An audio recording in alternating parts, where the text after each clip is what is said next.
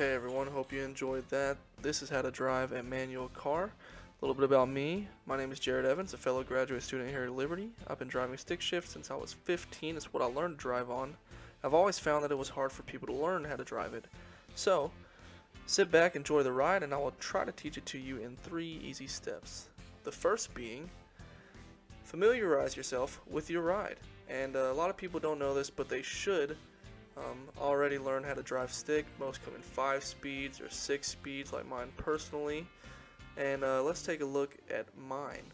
So here we have the clutch, which is important for, um, you know, obviously changing gears. And then next we have the brake. And obviously the next is the gas pedal.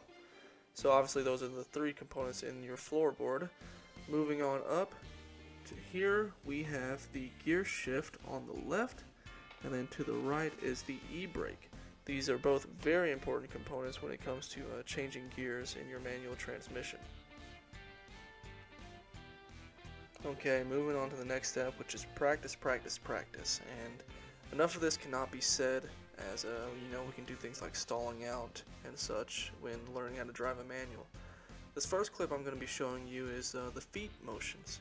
And basically, when you learn where your gears are, you're basically going to be pressing the clutch down when you're getting into a gear and then pushing up on the gas while letting off the clutch. So there it shows as if you were changing into a gear and as the gas is moving down, you're coming off the clutch, boom, change a gear, come off, go on the gas. Let's see how it looks on the hands. So obviously you have to familiarize yourself. I showed at the beginning the 5 and 6 speeds and this is basically what you do with your hands while you're changing it with your feet. So, third step is relax. Obviously, you have to be calm to drive manuals. It takes a lot of practice.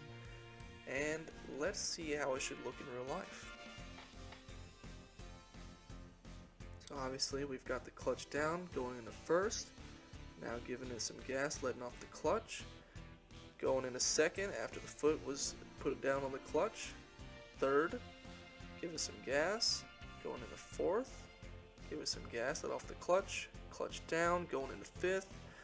It is also important to note that usually you switch around 3 RPMs and the e-brake is used for parking and you want to make sure you put it in at least first gear when the e-brake is up to park. And that is all folks. Um, I hope that this short little video can help you on your journey to learning how to drive a manual. Thank you very much. Goodbye.